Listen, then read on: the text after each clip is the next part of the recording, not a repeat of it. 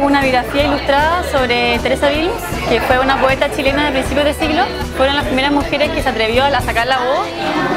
Yo quise escribir sobre ella para que en Chile la gente la conozca, porque hay mucha gente que la sigue, que, lee su poesía, pero hay mucha gente que no, que no la conoce, nunca ha escuchado ni siquiera su nombre, sobre todo los más jóvenes. Este libro lo que hace es que reúne su diario de vida con su biografía, entonces eh, es súper bien corto y rápido de leer y en una te permite conocer su vida de manera súper íntima, junta un poco una historia que en realidad es súper trágica, eh, la ilustración la embellece un poco de cierta forma.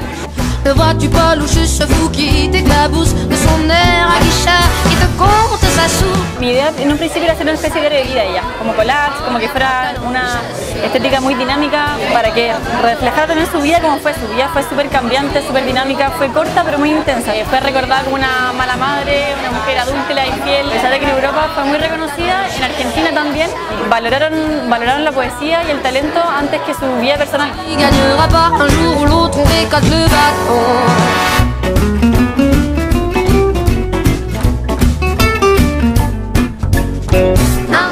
De Teresa sabíamos solamente elementos biográficos, pero no sabíamos lo importante y trascendente que era su texto. Eh, y estos diarios, de alguna manera, insisto, particularmente tercero y cuarto, son de una calidad literaria, pero impresionante. Y empezamos a cuajar esta idea como de reescribir a Teresa Bismont, no desde una figura más como em, convencional o prejuiciosa de lo femenino, sino más bien eh, poniendo como a mayor atención en lo innovador que era su obra en prosa, digamos, lo atractivo que eran sus reflexiones eh, protofeministas, protoanarquistas eh, y su relación crítica, digamos, con la aristocracia de la época. la obra poética de Bismont es, muy trascendente para su época. gente como Jorge Luis Borges y el grupo intelectual de la época la admiraron rápidamente. Lo mismo en España.